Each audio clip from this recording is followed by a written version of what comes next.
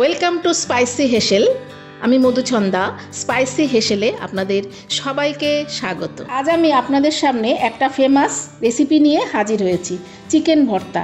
এটা পরোটা, নান, রুটি, তন্দুরি রুটি, কুলচা সব কিছুর সঙ্গে আপনারা খেতে পারবেন। তাহলে দেখে নেওয়া যাক এটা তৈরি করতে কি কি ইনগ্রিডিয়েন্টস আমাদের লাগছে। প্রথমেই লাগছে চিকেন আমি এখানে চারশো গ্রাম চিকেন নিয়ে নিয়েছি। এটা বোনলেসও নিতে পারেন উইথ বোনও নিতে পারেন। আমি এখানে একটু বোন শুদ্ধই নিয়েছি। চারটে ডিম, জিরের গুঁড়ো, ধনের গুঁড়ো, তেল, দই, চার মগজ, কাজু। চার মগজ আর কাজুটা আমি তিরিশ মিনিট একটু ভিজিয়ে রেখেছি উষ্ণ গরম জলে। হলুদ, নুন, কাশ্মীরি লঙ্কার গুঁড়ো, লাল লঙ্কার গুঁড়ো, কসুরি মেথি, গরম মশলা, আদা বাটা, রসুন বাটা। এছাড়া যে বাটার, ফ্রেশ ক্রিম, একটু কেওড়া জল। দুটো মিডিয়াম সাইজ পেঁয়াজ আমি এখানে নিয়ে নিয়েছি।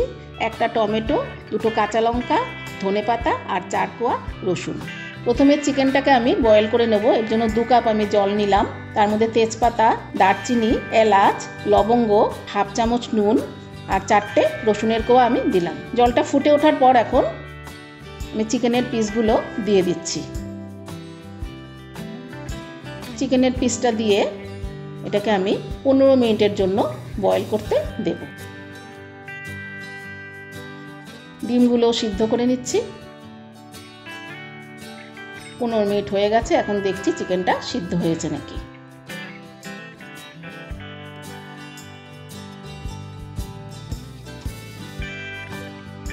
হয়ে গেছে, এটা আমি এখন একটা বাটিতে উঠিয়ে নেব। চিকেনগুলো ঠান্ডা হলে আমি রেড করে নেব। চিকেনের স্টকটা নিয়ে নিচ্ছি, এটা আমি চিকেন ভর্তার সময় কাজে লাগাবো। জলের বদলে এটা দিয়ে আমি চিকেন ভর্তাটা করব।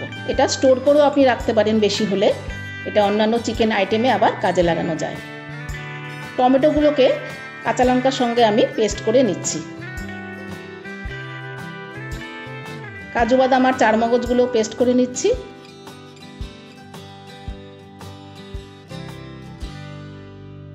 চিকেনটা ঠান্ডা হয়ে গেছে, এটা এখন আমি হাড়ের থেকে ছাড়িয়ে নিচ্ছি।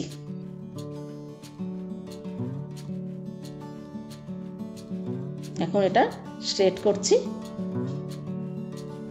এরকম সরু সরু করে অবশ্যই এটা স্ট্রেট করে নেবেন। তাহলে জিনিসটা খুব ভালো হয়। স্ট্রেট হয়ে গেছে। এখন দইটাকে আমি ফেটিয়ে নিচ্ছি। এখানে টু টেবিল স্পুন দই আছে। পেঁয়াজগুলো কুচি করে নিয়েছি।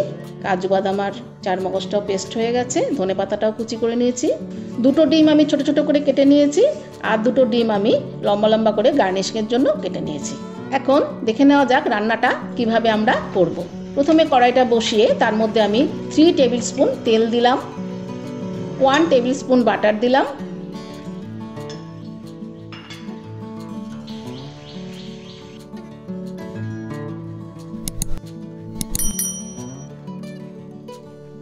বাটারটার তেলটা গরম হয়ে গেছে, এখন একটা তেজপাতা দিলাম, দারচিনি, এলাচ আর লবঙ্গগুলো দিয়ে এটাকে আমি নাড়াচাড়া করে এক দেড় মিনিটের মতো নাড়াচাড়া করলাম, গন্ধটা ওঠা পর্যন্ত। এটা আমি একটা বাটিতে তুলে নেব, কারণ গ্রেভিটার মধ্যে এটা পড়লে খেতে খুব খারাপ লাগবে। এটার মধ্যে এখন আমি পেঁয়াজগুলো দিয়ে দিচ্ছি, পেঁয়াজের কাঁচা গন্ধটা না যাওয়া পর্যন্ত এটাকে আমি ফ্রাই করব দু থেকে আড়াই মিনিটের মতন। এখন ব্রাউন হয়ে গেছে এটা, এটার মধ্যে এক চামচ আদা বাটা, এক চামচ রসুন বাটা দিলাম। দিয়ে আবার একটু নাড়াচাড়া করছি। এটারও কাঁচা গন্ধটা যাওয়া পর্যন্ত।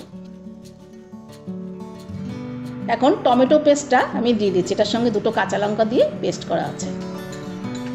এটারও কাঁচা গন্ধটা যাওয়া পর্যন্ত আমি নাড়াচাড়া করব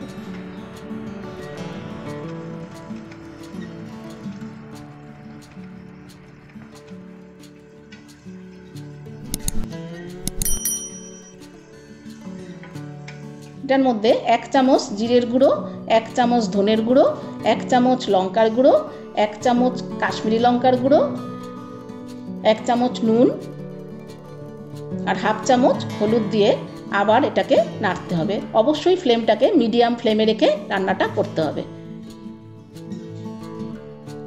এটার মধ্যে দু চামচ আমি চিকেন স্টকটা দিয়ে দিলাম যেন না নিচে লেগে ওঠে। মাঝে মাঝে স্টকটা দিয়ে এটাকে নাড়াচাড়া করে এটার কাঁচা গন্ধগুলো, মশলা যেন চলে যায়, এই পর্যন্ত আমার নাড়াচাড়া করতে হবে। এখন আমি ফেটানো টক দইটা দিয়ে দিচ্ছি।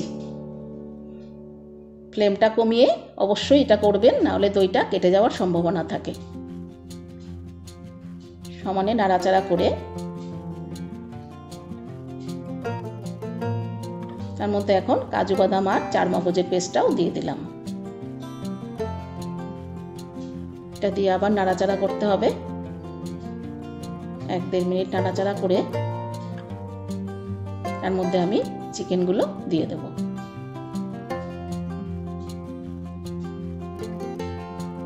এটা দিয়ে আবার আমি নাড়াচাড়া করছি।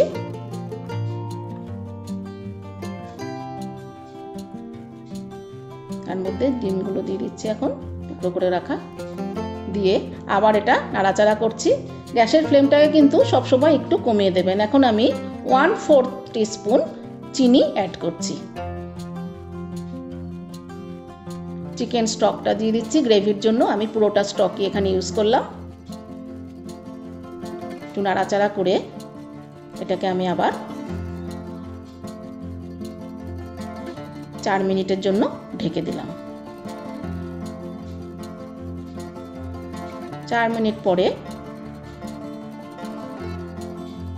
গ্রেভিটা একটু কমে এসছে এখন, হয়ে এসছে। এখন এর মধ্যে আমি হাফ টিস্পুন গরম মশলা অ্যাড করলাম।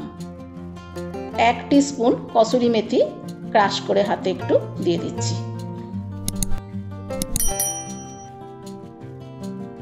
আমি এখানে অল্প একটু কেওড়া জল দেবো। এখানে কেওড়া জলটা বেশি দেবেন না। আমি এখানে ওয়ান ফোর্থ টিস্পুন কেওড়া জল ইউজ করছি। দিয়ে আবার নাড়াচাড়া করতে হবে একটু। আমাদের চিকেন ভর্তা কিন্তু মোটামুটি রেডি এখন আমি two tablespoon fresh cream দিয়ে দিচ্ছি। আপনাদের ঘরে যদি ফ্রেশ ক্রিম না থাকে, দুধের যে ক্রিমের মতন ওঠে ওটাও দিয়ে এটা করতে পারেন। এখন অল্প একটু ধনে পাতা লাস্টে ছড়িয়ে দিচ্ছি। টেস্ট করে দেখছি, এটা নুন, টুন সব ঠিক আছে নাকি? হ্যাঁ সব কিছুই ঠিক আছে। চিকেন ভর্তা রেডি হয়ে গেছে।